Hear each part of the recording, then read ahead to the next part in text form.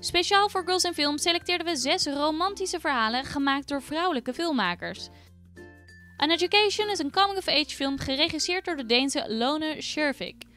De film is gebaseerd op de memoirs van Lynn Barber en speelt zich af in de jaren 60. Carrie Mulligan speelt Jenny, een meisje van 16 in Londen. Ze is slim, heeft strikte ouders en droomt ervan om te studeren aan Oxford. No, that shows you're a rebel. They don't want that at Oxford. No, they don't want people who can think for themselves. Oh, of course they don't.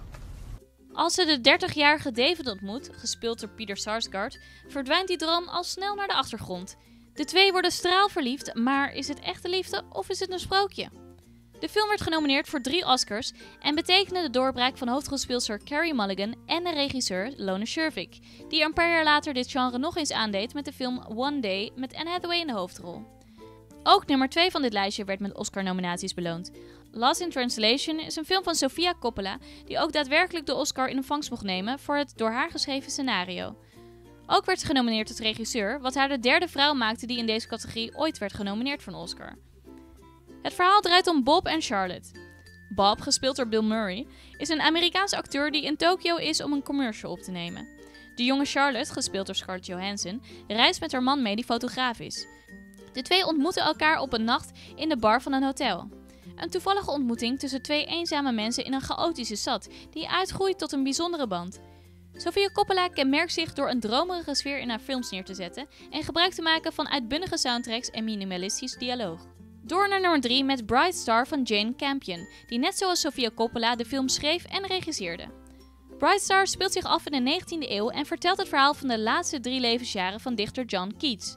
Hij heeft een geheime liefdesrelatie met zijn eigenzinnige buurmeisje Fanny Brown. Maar een huwelijk, dat zit er niet in, want Keats heeft niet genoeg geld om een meisje als Fanny te onderhouden. De titel van de film is een verwijzing naar een van de sonnetten van Keats, die kenmerkend was in zijn romantische en sensuele poëzie. A thing of beauty is a joy forever. Its loveliness increases, it will never pass into nothingness. Bright Star werd door critici lovend ontvangen en Jane Campion's beste werk genoemd sinds haar doorbraakfilm The Piano uit 1993. Ook deze film draait om een liefdesverhaal en werd overladen door nominaties en prijzen. Het maakte Jane Campion de tweede vrouw ooit die werd genomineerd voor een Oscar voor beste regie.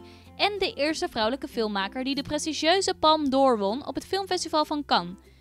Hello. I'm Miles. I'm Graham. Iris' brother.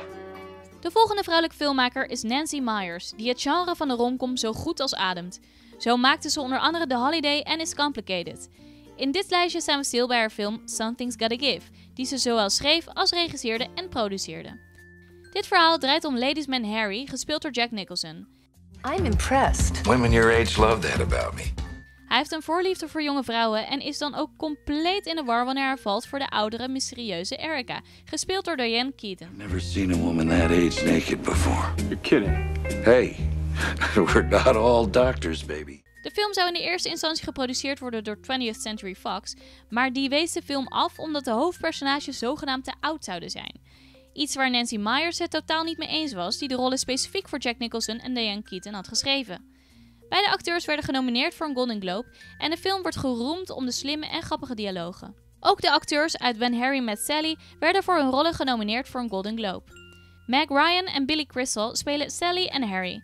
De twee ontmoeten elkaar op de universiteit en blijven elkaar in de jaren erna geregeld tegenkomen. Er ontstaat een vriendschap, hoewel Harry van mening is dat een man en een vrouw niet zomaar vrienden kunnen zijn zonder seks. Sally vindt dat maar onzin. Door de jaren heen worden de twee steeds hechter en Harry's standpunt lijkt steeds meer waarheid te worden. I came over last I went over to Sally's last night. because I was upset that Joe was getting And one married. thing led to And before I knew it, we were To kissing, make a and long then story short, we did it. They did it. De bekendste scène uit de film, waar Sally midden in een café een orgasme faked om Harry zo te laten zien dat vrouwen dat heel overtuigend kunnen, is bedacht door Meg Ryan zelf. De beroemde, I'll have what she's having. de beroemde quote I'll have what she's having als reactie op die scène is bedacht door Billy Crystal.